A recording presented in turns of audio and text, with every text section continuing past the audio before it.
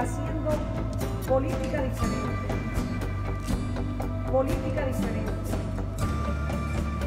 Yadira Marte haciendo política diferente. La primera pregunta que le quiero hacer es que la gente todavía está creyendo que Yadira Marte puede llegar a pertenecer a algún partido político como el PRM, el PLD, la Fuerza del Pueblo.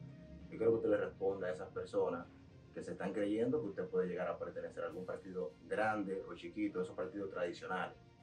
Bien, mira, no creo que sea posible pertenecer a la cúpula de partidos que se han encargado de destruir el futuro de esta nación, tal como lo es el, el Partido de la Fuerza del Pueblo, el PRD, el mismo PLD, que son como los tres top que más daño le han hecho a este país.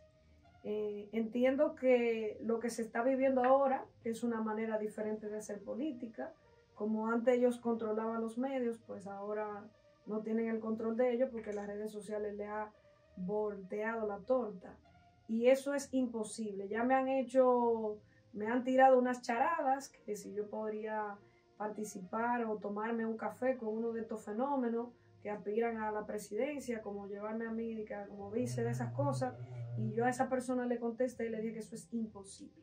Primero, mi moral, mi dignidad y mi calidad de persona no me lo permitiría.